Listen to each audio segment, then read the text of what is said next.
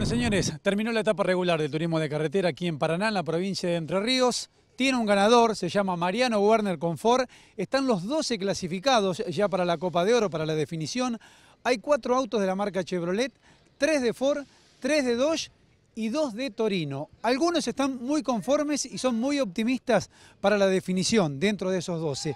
Ahora, hay otros que ingresaron y están un tanto preocupados. Lamentablemente, hablando de ingresar, quien no lo pudo hacer fue Gastón Mazacane, que estaba duodécimo y no ha tenido un gran fin de semana. Bueno, como se dice habitualmente, la suerte está echada. Bueno, ya están los 12 clasificados, como bien decías vos. Bueno, los preocupados evidentemente son Mauro Lombardo y Norberto Fontana. Y el gran amargado de la jornada, como también decías, es Gastón Mazacane, que se quedó ahí, terminó en el puesto 20, bastante retrasado, estuvo eh, ahí un toque, lo complicó y bueno, también lo complicó su ingreso a la Copa de Oro. Entró por él el Tati Angelini. Exactamente, quien casi este, tenía todo para ganar la competencia final, Juan Marcos Angelini, fue apurado por Guillermo Ortelli, cometió un error, un exceso el Tati, eh, llegó el momento del despiste, perdió la punta de la carrera, la posibilidad de ganarla, pero los puntos que pudo sumar en la competencia final le permitieron al piloto de carreras meterse dentro de los 12 mejores. La próxima fecha va a ser en San Luis.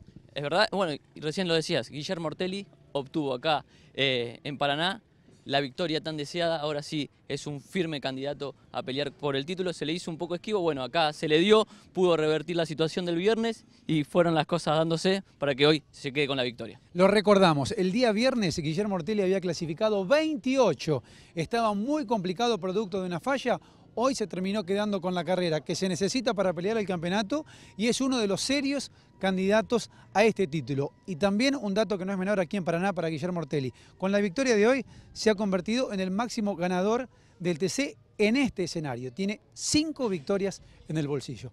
Nos vemos la próxima, que va a ser en San Luis, con el inicio de la Copa de Oro.